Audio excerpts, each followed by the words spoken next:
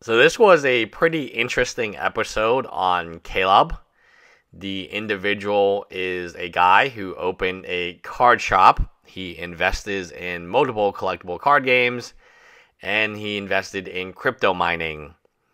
And he is married. And there is a very serious discussion about like how much debt he got into and he also has a YouTube Productions which is making $500 a month. So it's kind of like a YouTube channel, I assume.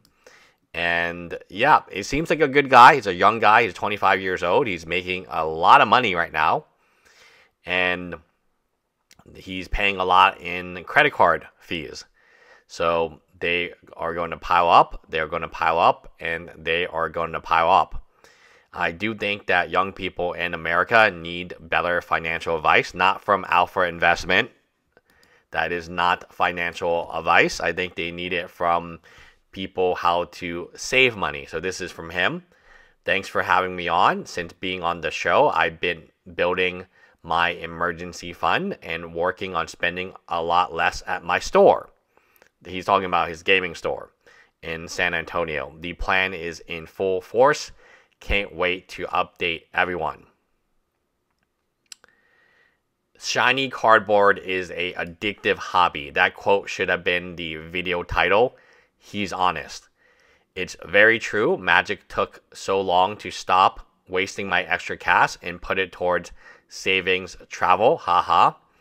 Most hobbies are like this, in my opinion. All TCGs are made to be addictive. It's basically a slot machine wrapped in plastic, but instead of a jackpot, you're trying to pull a rare card. It really is. Imagine if stock certificates were trading cards. Man owns the casino and is still losing. And that's absolutely correct. So this man owns the game store and can't break even. That's what I've been telling you guys that the distributor, this is what my whole point has been from the very get go even if you own the store, even if you have distribution prices, Amazon is going to be cheaper. I mean, it's it's sad. It's it's it's nonsensical. It makes no sense at all, right? You own the casino, and your your your customers are losing money opening packs, but you are losing money opening packs, right? Um, and it's only getting worse. It's only getting worse, right? So, in my personal opinion, uh, I think this is a very, very good interview for a lot of young people to hear because many, I mean, if the casino cannot make money, then how are, are the customers at the casino going to make money?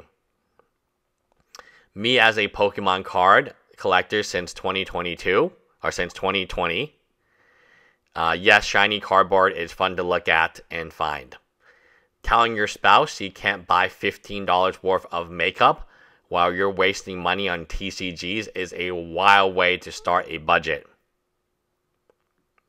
The kid is lucky to have a daddy that owns a business because he really is all over. And yeah, this is not true for most people. Um, this guy is making so much money because his dad owns the consulting business that he works at. The other two businesses, the card business as well as the um, the game store, the game store, as well as the YouTube. I think it's a YouTube channel. This guy makes about three times more a month than myself, and he's broke.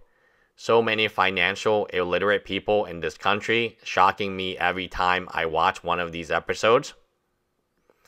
The stones on this man to give his girlfriend, fiance, future wife a cap on makeup spend but then spending who knows how much each month on shiny cardboard at his own store. Yeah, yikes. I mean, yeah, it's um Yeah, so he's trying to say that his girlfriend is spending all this like $15 on makeup and he finds that very wasteful and then he can go to his card store and spend who I mean again, it's a large number that he won't um ever you know, it's a large number that he probably won't ever tell you about.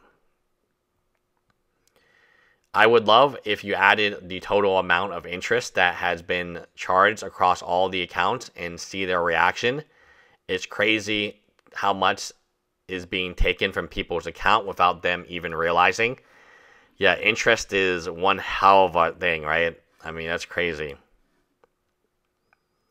Um, spends thousands on cards but won't give his girlfriend $200 and both finances are combined is so wild and so controlling.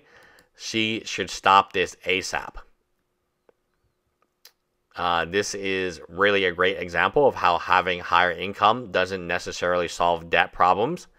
Lifestyle inflation is one of the most dangerous parts of America consumerism.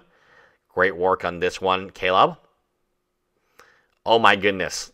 She goes overboard on makeup spending, says the man who spent $600 in his own store and then spends constantly on food out and he makes her a lunch, which is sweet, but he's just looking at her spending and ignoring the fact that he spends. Yeah, this is pretty wild, my guys. Like, this is the typical Magic player. They want to control everything. This is a typical counter. Um, this is the typical uh, counter spell player, right? Hope she's okay, only getting $100 a month of her own paychecks at 22. Oh, yes, he's 22 and he's 25.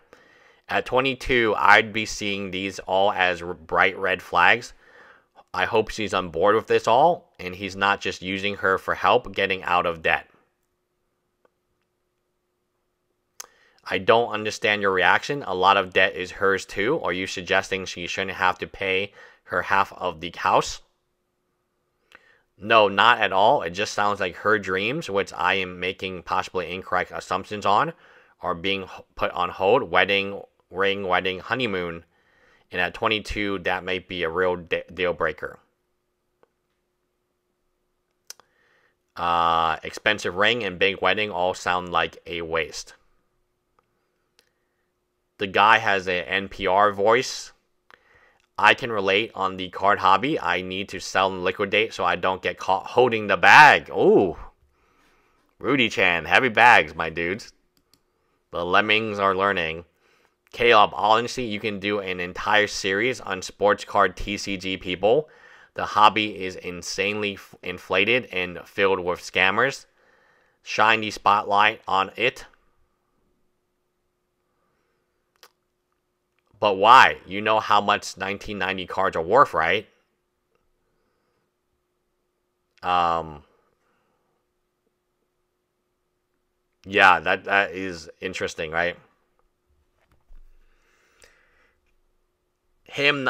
Okay, so a lot of the females, I think what what's happening here is now that I'm reading more of these, a lot of females are absolutely appalled by his comments about makeup and they're going ham at him for the makeup comments. So I, I mean, yeah, it makes sense, right? The girlfriend spends a little bit on makeup. He has a problem with that, and he's very controlling. And then he spends probably ten times, one hundred times more on on cardboard, and then feels like that's okay. And remember, he owns his own store, so uh, for most of you, it's actually going to be worse than that, right? Anyway. Let me know what you guys think in the comments below. Bye, guys.